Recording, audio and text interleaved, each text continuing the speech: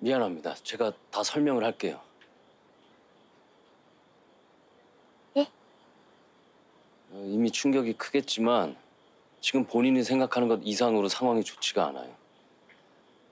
어, 우리는 막 1987년에 도착했고 돌아갈 방법은 없습니다.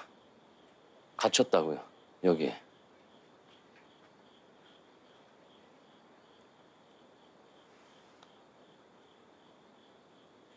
진짜예요?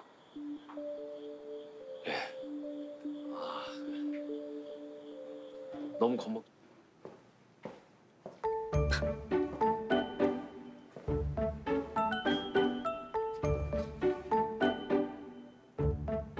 여기는 오늘부터 같은 반에서 공부하게 될 백윤영. 집안 사정 때문에 학교를 좀 쉬어갔고 니들보단 좀 언니란다. 언니가 어딨어요? 같은 반이면 다 친구지. 맞아요. 그래 뭐 그건 니들끼리 알아서 정리를 하... 아니지. 응. 그 김혜경이 이은아 박유리. 니들 김이박 트리오. 정리는 적당히 해. 전 학생 때와 또 한따까리 하다 걸리면 그냥 확. 어? 예.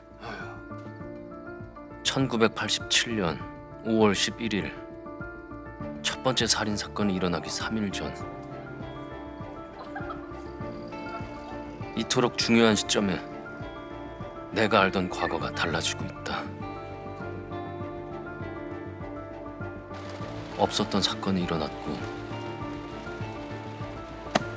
주요 용의자 아니 실제 범인으로 지목됐던 고민수는 이미 경찰에 붙잡혔어.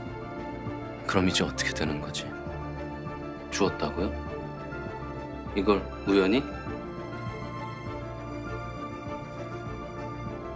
대체 뭘 감추고 있길래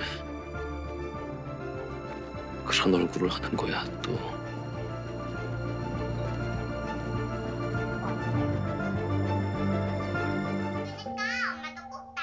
그 꼬물거리던 작은 입, 예쁜 손.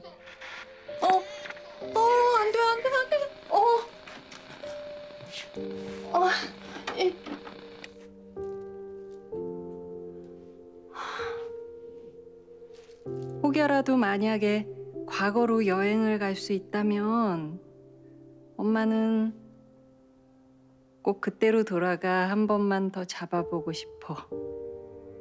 네 그 작고 예쁜 손을. 윤영아, 엄마는 잊지 않았어.